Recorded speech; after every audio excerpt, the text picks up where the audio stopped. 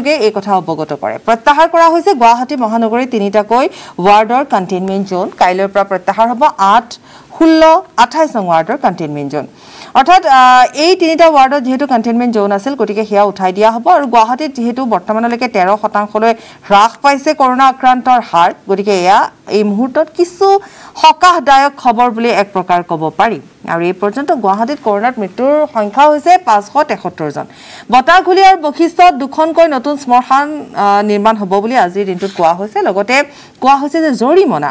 জৰিমনা সংগ্ৰহ হৈছে ন লাখ পঁচপন্ন হাজাৰ টকা। দেওবাৰে একযুটীয়া সংবাদমেলত এই তথ্য সদৰি কৰিছে জিলা উপায়ুক্ত বিশ্বজিৎ পেগু আৰু আৰক্ষী আয়ুক্ত মুন্না প্ৰসাদ গুপ্তাই।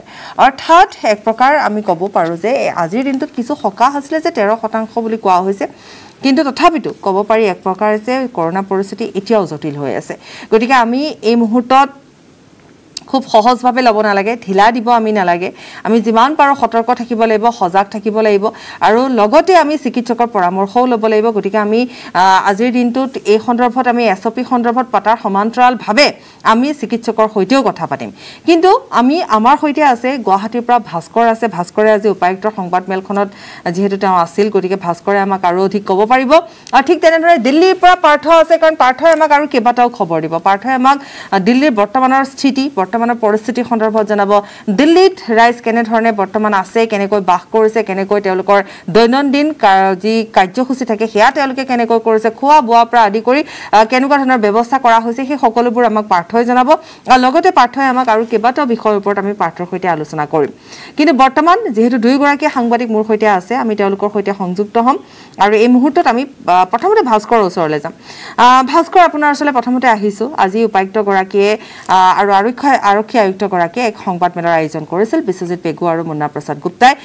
গতিকে সেই সংবাদমেলত আৰু কি কি কথা কৈছিল এবাৰ আপোনাৰ পৰা জানি ল'ম। চাওক প্ৰথমে পাপৰি এটা ভাল খবৰ বুলি কওঁ যিহেতু গুৱাহাটীত তিনিটাকৈ যিহেতু ৱাৰ্ডত কণ্টেইনমেণ্ট জোন যি ঘোষণা কৰাইছিলে সেয়া অহাকালি পুৱা পাঁচ বজাৰ পৰা উঠাই দিয়া হ'ব সেয়া বিশ্বজিৎ পেগুৰ সংবাদমেলযোগে আনুষ্ঠানিক ঘোষণা।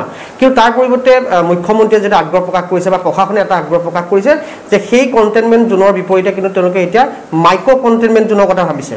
অৰ্থাৎ মাইক্ৰ' কণ্টেইনমেণ্ট জোন এনেকুৱা এটা ছিষ্টেম যে যিহেতু কণ্টেইনমেণ্ট জোন বিগত যেতিয়া তিনিটা ৱাৰ্ডত দিয়া হৈছিল সেই ৱাৰ্ড তিনিটাত আচলতে বহু অঞ্চল সামৰি লোৱা হয়। তেনে ক্ষেত্ৰত হয়তো কোনো সেই ৱাৰ্ডটোৰ বহুকেইটা হয়তো বাইলেণ্ড বুলিয়ে কওঁ সেই বাইলেণ্ড বা ঠাইত হয়তো ক'ভিড পজিটিভৰ হাৰ নাথাকিব পাৰে মানুহ থাকিব কিন্তু তাৰ পৰিৱৰ্তে যিহেতু সম্পূৰ্ণ ৱাৰ্ডকেইটা বন্ধ কৰি দিছিল কিছু পৰিমাণে হ'লেও মানুহ আচলতে অসুবিধাৰ সন্মুখীন হৈছিল। তথাপিও ৰাইজে সহযোগিতা কৰিছে সেই উপায়ুক্তগৰাকীয়ে স্বীকাৰ কৰিছে।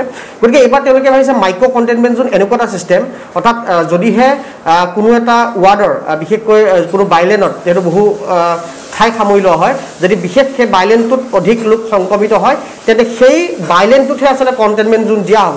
যাক নাম দিয়া হৈছে মাইক্ৰ' কণ্টেইনমেণ্ট জোন সেয়া হয়তো অচিৰে হ'ব ভাল খবৰ এইটোৱে যে গুৱাহাটীত বৰ্তমান সংক্ৰমিত হাৰ যি পাৰ্চেণ্টেজ শেহতীয়াকৈ এইটিন পাৰ্চেণ্টলৈ গৈছিল অৰ্থাৎ ওঠৰ শতাংশলৈ গৈছিলে।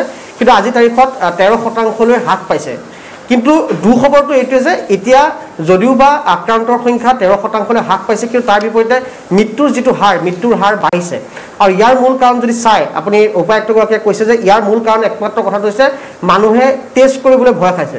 কাৰণ বহুতে হয়তো ভাবিছে টেষ্ট কৰাৰ লগে লগে হস্পিটেলত নিব হস্পিটেলত তেওঁলোকে অসুবিধাৰ সন্মুখীন হ'ব। এনেকুৱা এটা প্ৰচাৰ যিহেতু ওলাই আছে গতিকে উপায়ুক্তগৰাকীয়ে অনুৰোধ কৰিছে যে যদিহে আপোনাৰ শাৰীৰিক অৱস্থা কিছু আচলতে বা ক'ভিডৰ কিছু লক্ষণ যদি আপুনি দেখাত দেখা দিয়ে তেতিয়া ততাতৈয়াকৈ আপুনি নিকটৱৰ্তীয় যি ক'ভিড টেষ্ট চেণ্টাৰ আছে তালৈ যাওক টেষ্ট কৰক আৰু যি টেষ্ট নকৰাৰ বাবে যি মানুহে ভয় খোৱাৰ বাবে গুৱাহাটীত কিন্তু মৃত্যুৰ সংখ্যাটো যথেষ্ট বৃদ্ধি পোৱা বৃদ্ধি পাইছে। ভাস্কৰ যাম আমি আপোনাৰ ওচৰলৈ। ভাস্কৰ আপুনি আমাৰ সৈতে আৰু কিছু সময় থাকিব লাগিব যিহেতু আমি এই কথাখিনিও পাতিম। অসমৰ আৰু সাম্প্ৰতিক যিটো পৰিস্থিতি আপুনি ঠিকেই কৈছে ৰঙিয়াত আজি এজন লোকে ভয় খাই আত্মহত্যা কৰিছে। গতিকে এনেকুৱা এটা পেনিক চিটুৱেশ্যনৰ সৃষ্টি হৈছে বৰ্তমান। আমি পাৰ্থ ওচৰলৈ যাম। এছ'চিয়েট এডিটৰ পাৰ্থ আমাৰ সৈতে আছে। গতিকে পাৰ্থই আমাক দিল্লীৰ কথা জনাব। পাৰ্থ আজি আপুনি যিহেতু কিছু সময় পূৰ্বে আপুনি এটা খবৰ দিছিলে যে দিল্লীত কিছু হ্ৰাস পাইছে। অলপ এটা এটা পৰিস্থিতিৰ মাজলৈ আহিছে য'ত হয়তো ৰাইজে দিল্লীবাসী ৰাইজে এটা উশাহ ল'ব পৰা পৰিস্থিতিৰ মাজলৈ আহিছে। কিন্তু তাৰ মাজতো আমি কেইবাগৰাকীও অসমীয়াক হেৰুৱালোঁ পাৰ্থ সকলো সামৰি আপোনাৰ পৰা জানিম।